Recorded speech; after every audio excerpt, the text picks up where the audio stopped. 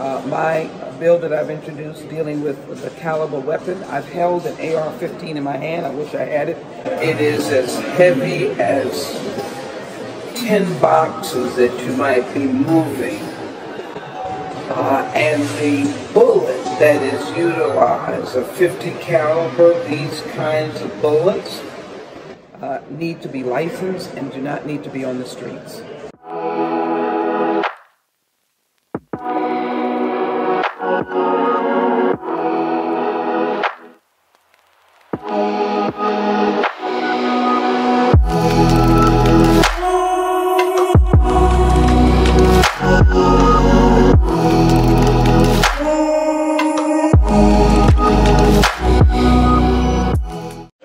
I don't know what else it takes, but I don't believe that we can stop at the door of the United States House.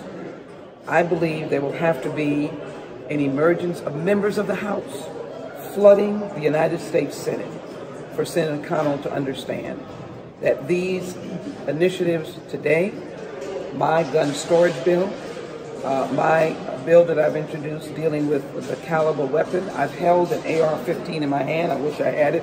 It is as heavy as 10 boxes that you might be moving. Uh, and the bullet that is utilized, a 50 caliber, these kinds of bullets, uh, need to be licensed and do not need to be on the streets.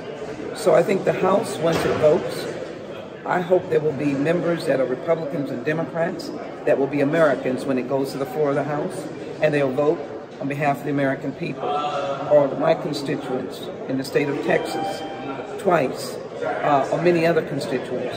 And then I think it is important for the President of the United States to commit to what he said previously, which is he was prepared to support the background check and that he would be open to other legislation. 90% of the people want background checks. Over 60% want a ban on assault weapons. 80% plus want red flag laws. And um, I would venture to say those numbers would be similar for storage laws and for licensing laws regarding uh, the question of firearms and ammunition. And finally, interestingly enough, Americans support the buyback program, which all of us could have in our respective communities. We're at a crisis. Uh, it's not just the Taliban coming to the United States. We're at a domestic crisis, and it's toxic, and it's combined with hatred.